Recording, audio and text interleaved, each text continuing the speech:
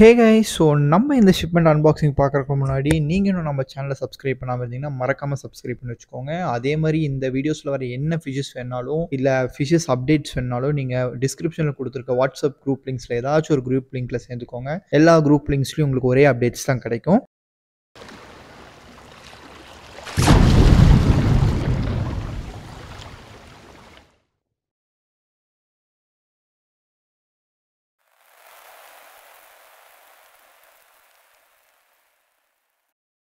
So first நம்ம இந்த அன்பாக்சிங்கில் பார்க்க போகிறது ரொம்பவுமே ஒரு காஸ்ட்லியஸ்ட் கேட்ஃபிஷ் ஸோ இது என்ன கேட்ஃபிஷ்னு பார்த்தீங்கன்னா டைகர்னஸ் ஒரு purple colour black stripes and white stripes உள்ள கேட்ஃபிஷ் தான் இந்த கேட்ஃபிஷ் இது வந்து டைகர் ஷவுல்னோஸ் கேட்ஃபிஷ் மாதிரியே தான் இருக்கும். ஸோ இந்த கேட்ஃபிஷ்லாம் பார்த்தீங்கன்னா ரொம்பவுமே காஸ்ட்லி இந்த சைஸ் வந்து nearly twenty twenty one thousand வருது. இதை விட இதோட ஸ்டார்டிங் ப்ரைஸ் பார்த்தீங்கன்னா மோர் தென் டென் தௌசண்ட் தான். அதுக்கு கம்மி நான் பார்த்ததே கிடையாது. ஸோ இந்த கேட்ஃபிஷ்லாம் நீங்கள் வளர்த்தணும்னு நினச்சிங்கன்னா ரொம்பவுமே ஈஸி நீங்கள் சின்ன சைஸில் வந்து லைஃப் ஃபிஷஸ் மட்டும் போட்டு வளர்த்துங்க. கொஞ்சம் பெருசானதுக்கப்புறம் நீங்கள் என்ன வேணாலும் போட்டுக்கலாம். ஸோ இந்த கேட்ஃபிஷ்லாம் ரொம்ப காஸ்ட்லியாக இருக்கங்காட்டி நீங்கள் வந்து ஜஸ்ட் ட்ரிங்கிங் வாட்டர் மட்டும் யூஸ் பண்ணுங்கள் வேறு போர் தண்ணி உப்பு தண்ணி இந்த மாதிரி எந்த வாட்டரும் யூஸ் பண்ணாதீங்க.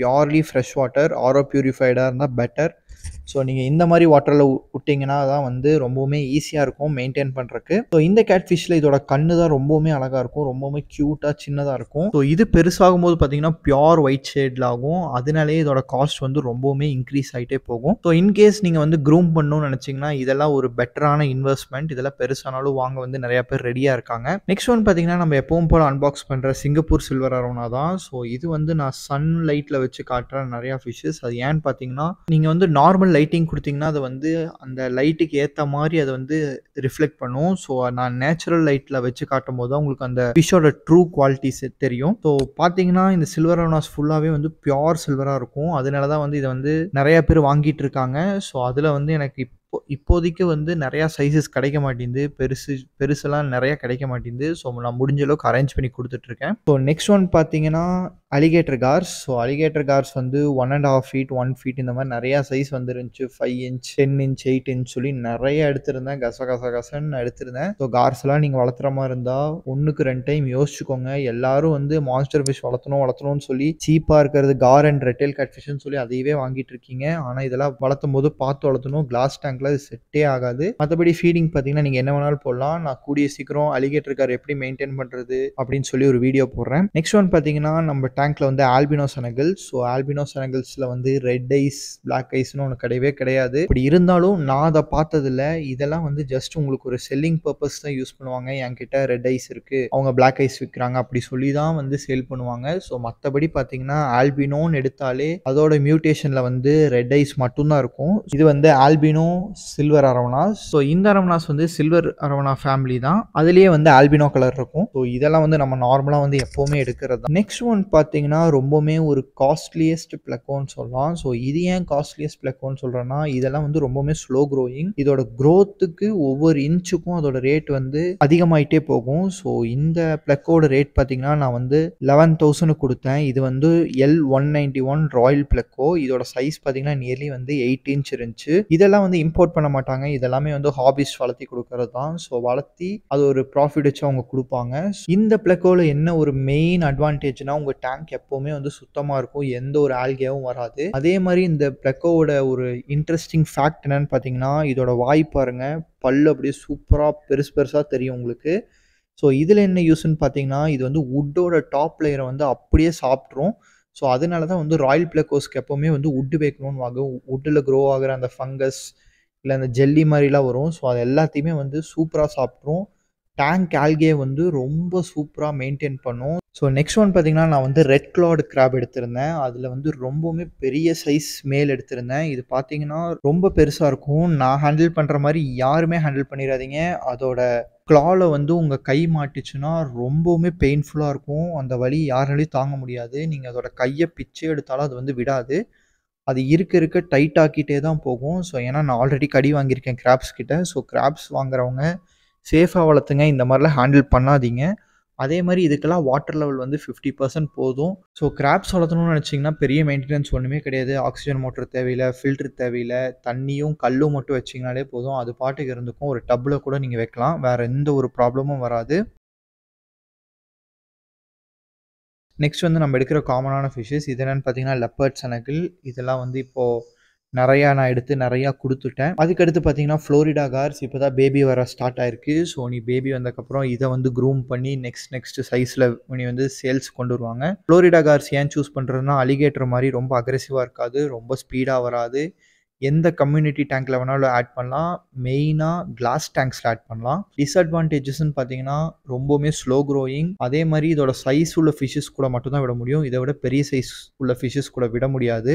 நெக்ஸ்ட் ஒன் பார்த்தீங்கன்னா இதில் வந்து நான் வந்து நிறையா ஃபிஷ்ஷஸ் ஒட்டுக்கா விட்டு வச்சுருப்பேன். இதில் என்னென்ன இருக்குன்னு பார்த்தீங்கன்னா clown knife peacock bass diamond sturgeon normal sturgeon paroon shark so இந்த மாதிரி நிறையா ஃபிஷ்ஷஸ் வந்து நான் ஒட்டுக்கா வச்சுருக்கேன். இது ஏன்னு பார்த்தீங்கன்னா இந்த ஃபிஷ்ஷஸ் எல்லாம் வந்து நீங்கள் எப்போவுமே ஒட்டுக்கா வைக்கலாம். அதை வந்து நான் காட்டுறக்காக தான் நான் சேல் பண்ணும்போது இதை வந்து ஒட்டுக்காக தான் வச்சுருப்பேன். ஸோ இந்த ஃபிஷஸ்க்கெல்லாம் ஃபீடிங் பார்த்தீங்கன்னா நான் நார்மலாக சிங்கிங் பில்லட்ஸ் மட்டும் தான் கொடுத்துட்ருக்கேன் எல்லாமே சூப்பராக சாப்பிட்ருக்கு ஸோ இந்த ஃபிஷஸ் எல்லாம் வந்து நீங்கள் ஒன்று ஒன்று விட்டாலும் அது வந்து ஃப்யூச்சர் வந்து பெரிய மான்ஸ்டர் ஆகும்போது உங்கள் டேங்கே வந்து ஆக்குபைடாக தெரியும். இதுக்கெல்லாம் வந்து ஒரு சிக்ஸ் ஃபீட் டேங்க் போதும். ஜஸ்ட் நீங்கள் எல்லாத்துலேயும் ஒன்று ஒன்று வளர்த்துனீங்கனாலே நீங்கள் லைஃப் லாங் அதை உங்கள் டேங்க்லேயே வச்சுக்கலாம். ஸோ நெக்ஸ்ட் ஒன் பார்த்தீங்கன்னா நார்மல் ஸ்டர்ஜனையும் நான் டைமண்ட் ஸ்டர்ஜனையும் ஒட்டுக்கா டப்பில் போட்டு எடுத்திருந்தேன். உங்களுக்கு ரெண்டுக்குமே வந்து ரொம்ப நல்லாவே வித்தியாசம் தெரியும். ஸோ நான் நான் வந்து செப்பரேட்டாகவும் டைமண்ட் ஸ்டர்ஜன் எப்படி இருக்குன்னு காட்டியிருப்பேன். ஸோ டைமண்ட் ஸ்டர்ஜனில் பார்த்தீங்கன்னா மேலே வந்து ஒரு மூணு லேயரில் வந்து ஒரு ஒயிட் கலர் ஷேடு வரும். அதே மாதிரி ஃபேஸும் அதுக்கு டிஃப்ரெண்ட்டாக இருக்கும்.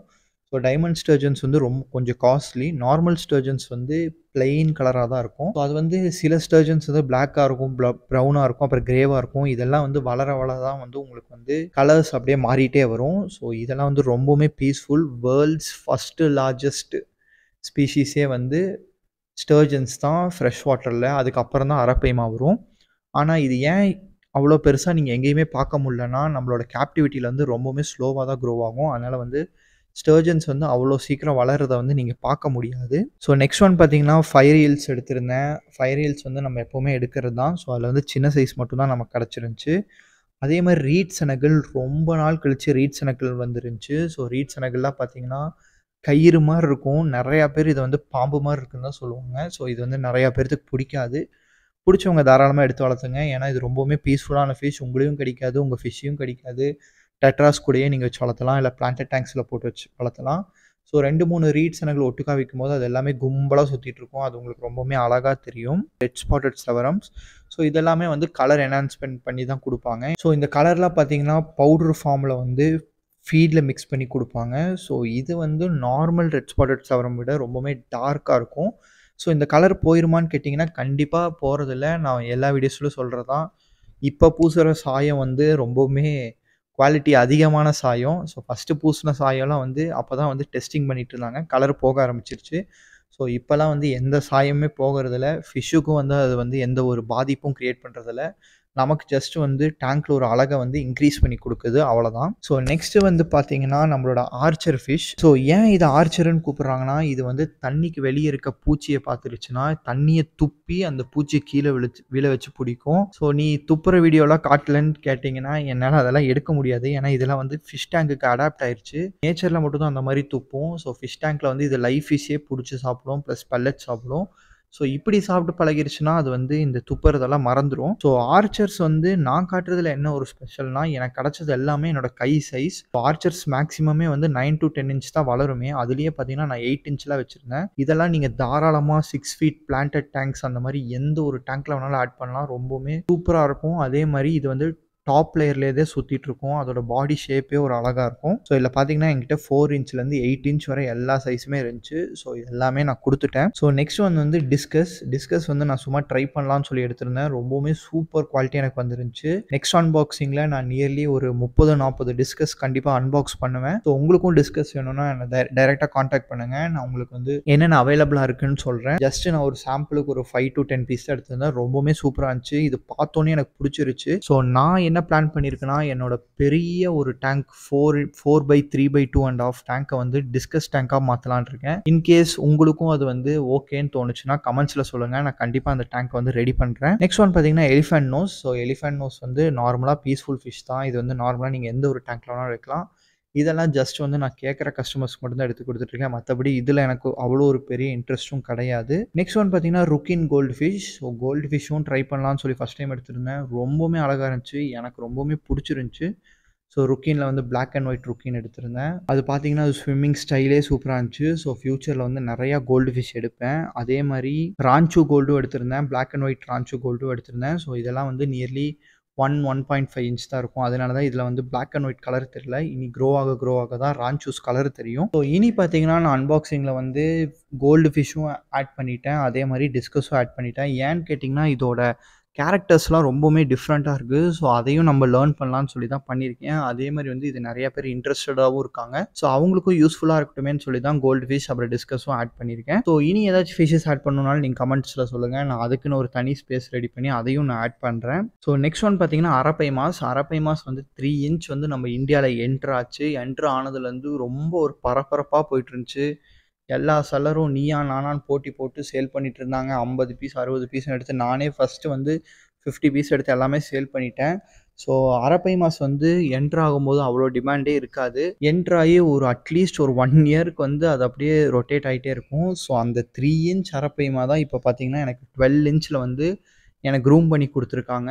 ஸோ எனக்குன்னு வந்து பர்சனல் க்ரூமர் இருக்காங்க பர்சனல் ஃபார்ம் கை இருக்காரு. ஸோ இவங்க எல்லாரும் வந்து எனக்கு வந்து ஒரு ஃபிஷ் எடுத்து அவங்க வளர்த்தி அதை வந்து எனக்கு கொடுப்பாங்க. அது எனக்கு மட்டும்தான் கொடுப்பாங்க. ஸோ க்ரூம்டு ஃபிஷஸ் குவாலிட்டி அதனால் வந்து என்னால் வந்து நல்லா மெயின்டைன் பண்ண முடியுது. ஸோ இந்த அரப்பை மாஸ் பார்த்தீங்கன்னா நியர்லி டுவெல் இன்ச் இருக்கும். ஸோ டுவெல் இன்ச்சில் வந்து நான் ஒரு சிக்ஸ் பீஸ் என்னமோ எடுத்திருந்தேன். எல்லாமே சோல்ட் அவுட் ஆயிடுச்சு. ஸோ லாஸ்ட்டாக பார்த்தீங்கன்னா என் க்ரூமர்கிட்ட இருந்து வந்தது. த்ரீ இன்ச் ஆல்பினரோனா நம்ம கிட்ட பார்த்துருப்பீங்க ஸோ அதை வளர்த்தி அவர் வந்து எனக்கு வந்து ஒன்றரை அடியில் கொடுத்துருந்தாரு. ஸோ ஆல்பினோ ரவனாஸும் என்கிட்ட அவைலபிளாக இருக்குது ஸோ இந்த வீடியோ பிடிச்சிருந்தா லைக் பண்ணுங்கள் என்ன மாதிரி வீடியோஸ் வேணும்னு கமெண்ட்டில் சொல்லுங்கள் நீங்கள் இன்னும் நம்ம சேனலை சப்ஸ்கிரைப் பண்ணாட்டி மறக்காமல் சப்ஸ்கிரைப் பண்ணிடுங்க தேங்க்யூ ஃபார் வாட்சிங்